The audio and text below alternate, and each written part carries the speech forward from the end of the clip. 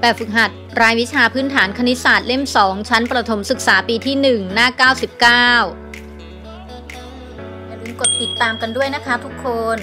และอย่าลืมกดกระดิ่งเพื่อจะได้ไม่พลาดคลิปใหม่ต่อ ๆ ไปนะคะ แบบฝึกหัด 12.3 การบวกจำนวน 2 หลักกับ 1 หลักที่ผลบวกไม่เกิน 100 มีการทด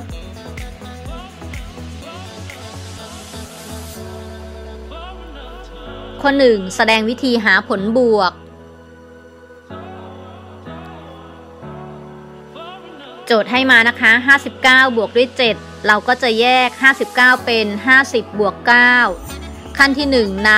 ำ9 มาบวก 7 นะคะ 9 บวก 7 เท่ากับ 16 ต่อไปขั้นที่ 2 เราก็จะนำ50 มาบวกกับคำตอบของขั้นที่ 1 ก็คือ 50 บวก 16 เท่ากับ 66 ดังนั้น 59 บวก 7 เท่ากับคำตอบของขั้นที่ 2 ก็คือ 66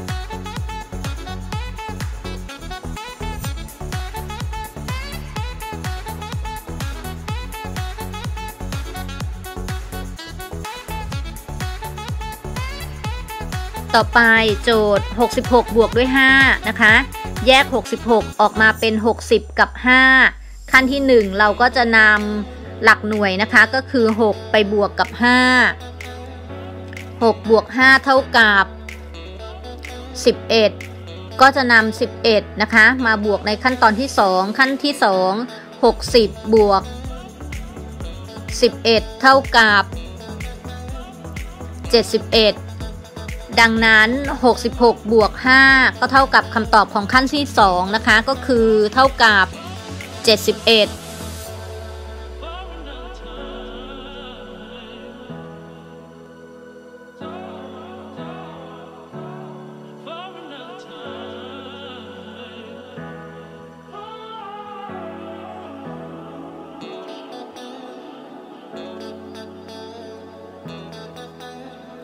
ข้อต่อไป 59 บวก 7 นะคะ 59 แยกเป็น 56 กับ 3 ถามว่าทำไมแยกเป็น 56 กับ 3 เพราะเราต้องการนำ3ไปรวมกับ 7 เพื่อจะให้ได้ 10 นะคะ ก็ขั้นที่ 1 เราก็จะนำ3บวก 7 เท่ากับ 10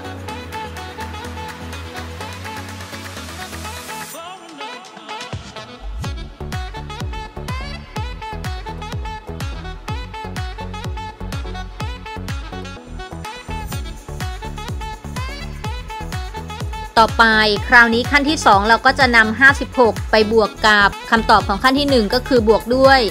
10 56 บวก 10 เท่ากับ 66 ดังนั้น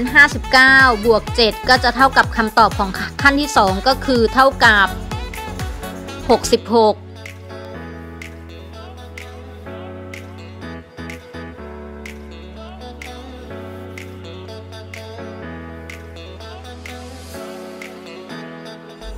ต่อไปนะคะ 66 บวกด้วย 5 66 แยกออกเป็น 61 กับ 5 เพราะต้องการนำ5ไปบวกกับ 5 นะคะ ขั้นที่ 1 เราก็จะนำ5บวก 5 เท่ากับ 10 ขั้นที่ 2 เราก็จะนำ61 นะคะ บวกด้วยคำตอบของขั้นที่ 1 ก็คือบวกด้วย 10 เท่ากับ 71 ดังนั้น 66 บวก 5 เท่ากับคำตอบในขั้นที่ 2 ก็คือเท่ากับ 71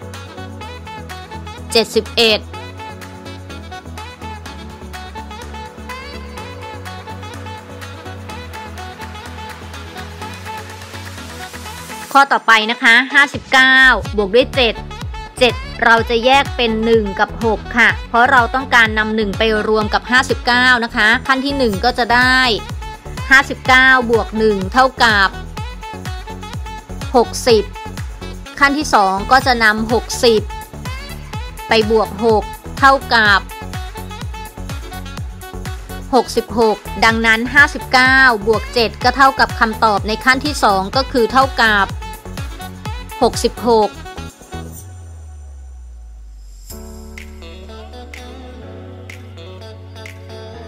ต่อไป 66 บวก 5 5 เราแยกเป็น 4 กับ 1 นะคะ ขั้นที่ 1 ก็นำ66 ไปบวกด้วย 4 เท่ากับ 70 ขั้นที่ 2 ก็นำคำตอบของขั้นที่ 1 ก็คือ 70 บวก 1 เท่ากับ 71 ดังนั้น 66 บวก 5 เท่ากับคำตอบในขั้นที่ 2 ก็คือเท่ากับ 71 อยากเก่งคณิต คิดถึงคุณครูพึ่ง